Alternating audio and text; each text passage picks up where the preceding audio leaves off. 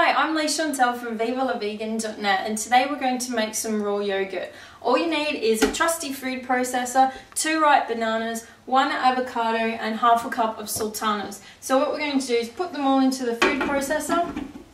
Got two bananas, some avocado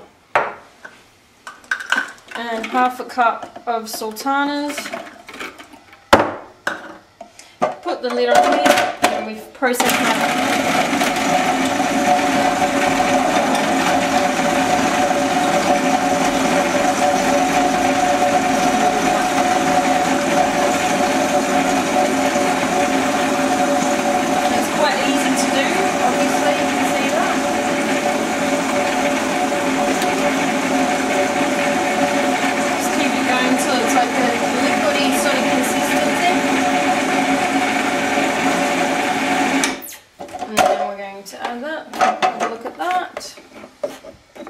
Could food process it a bit more if you want to get rid of the sort of sultanas a bit.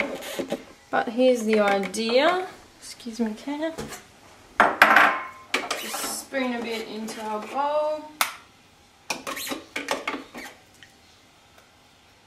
And that's our raw yogurt. You can serve that with some soaked oats or some um, fresh fruit for the morning or you can also use that with anything else and how you would normally use yogurt. So check out vivalavegan.net for some more raw food recipes.